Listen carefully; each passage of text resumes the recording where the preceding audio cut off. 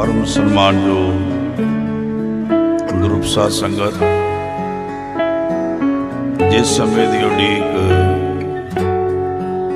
ਬੜੇ ਲੰਮੇ ਸਮੇਂ ਤੋਂ ਕਰ ਰਹੇ ਸਨ, ਗੁਰਸਾਹਿਬ ਨੇ ਰਹਿਮਤਾਂ ਕੀਤੀਆਂ ਨੇ, ਉਹ ਖੁਸ਼ੀਆਂ ਭਰਿਆ ਸਮਾਂ ਆਇਆ ਹੈ।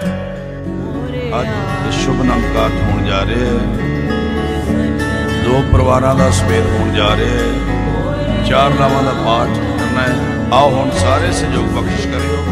ਹਰ ਪੈਲੜੀ ਲਾ ਪਰਵਿਰਤੀ ਕਰਮ ਦਰੜਾਇਆ, ਬਲਰਾਮ ਜੀਓ।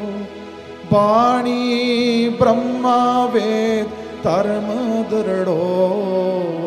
ਪਾਪ ਤਜਾਇਆ ਬਲ ਰਾਮ ਜੀਓ।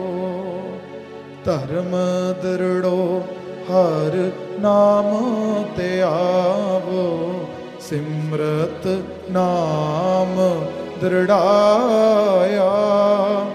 ਜਨ ਨਾਨਕ ਬੋਲੇ, ਚੌਥੀ ਲਾਵੇ, ਹਰ ਪਾਇਆ ਪ੍ਰਭ ਅਵਿਨਾਸੀ ਹਰ ਚੌਥੜੀ ਲਾ ਵਾਹਿਗੁਰੂ ਸਤਨਾਮ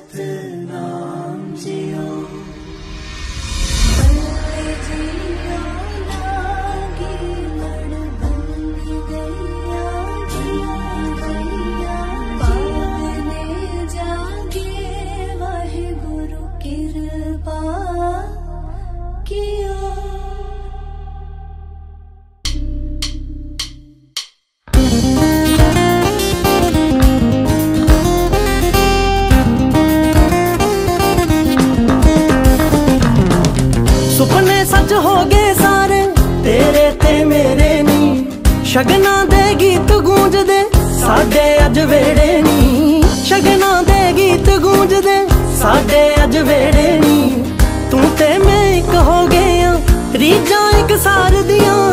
ਤੂੰ ਤੇ ਮੈਂ ਇੱਕ ਹੋ ਗਏ ਆ ਰੀਜਾਂ ਇੱਕ ਸਾਰ ਦੀਆਂ।